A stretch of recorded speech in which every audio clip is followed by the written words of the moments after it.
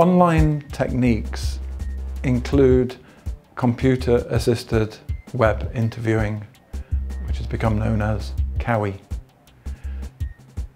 It also includes computer-assisted mobile interviewing, which has become known as CAMI.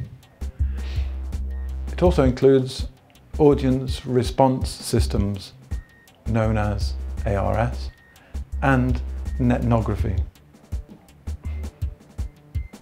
Online research is generally restricted to populations who have internet access and good sample sources are often unavailable.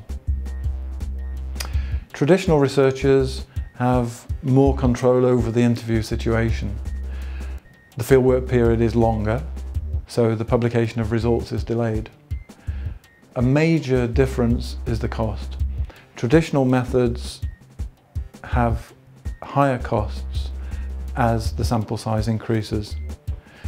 But large online samples cost no more than studies using small samples.